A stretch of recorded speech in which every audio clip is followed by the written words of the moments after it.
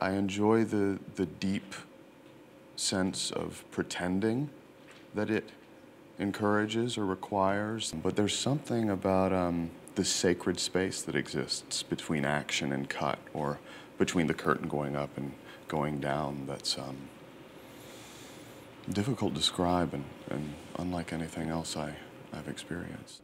You're the boyfriend of a woman who has a six year old son, and you're a mean son of a bitch. You've recently moved in. Yeah. And uh, she occasionally has to run off to work, do something, and leaves you with the kid who you can't stand. Get out of here, you little fuck. That's great. I don't care how old you are.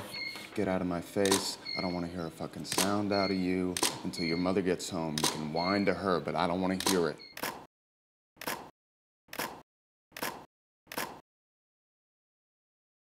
When I got the phone call at noon that uh, Sam Mendes was looking for someone to replace Alan Cumming as the MC in Cabaret and went in at 6 for a work session that lasted for just shy of an hour and left and ran into the casting director under the Cabaret sign at Studio 54 and he let me know that I had the role. And I went in and saw the show for the first time that night and was pinching myself all night long, simultaneously invigorated and absolutely horrified. You're a little league coach, about to go ballistic on a volunteer umpire who called um, a runner safe against your team when it should have been an out. You're really going to go too far this time.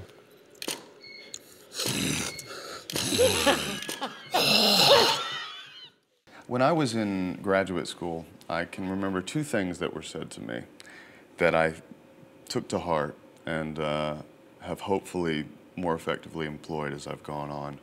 One teacher said to me, I think you just need to let go of your fear of being an asshole. so I hope that I have uh, slowly but surely done a better and better job of relinquishing my fear of being an asshole. I think he was talking about in my work. I was too polite. Um, and another teacher said to me, you know, it's not always a, a nail that you're hammering into a wall. Sometimes it's just a thumbtack. You're a uh, famous Russian choreographer for the Bolshoi Ballet, and you've been uh, asked to be a guest choreographer at the New York City Ballet.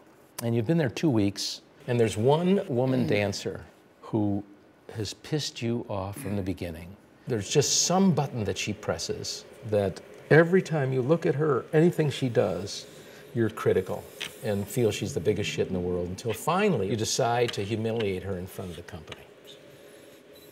That's great. That's great. Fat! That's fat! Cow! Entitled American Bitch. Leave, leave, leave, leave, leave!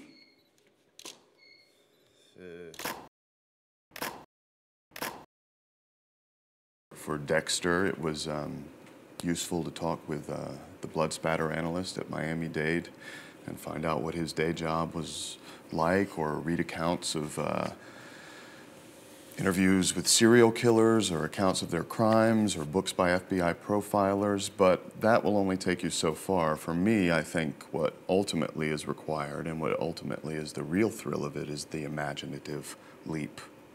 What if I were this person?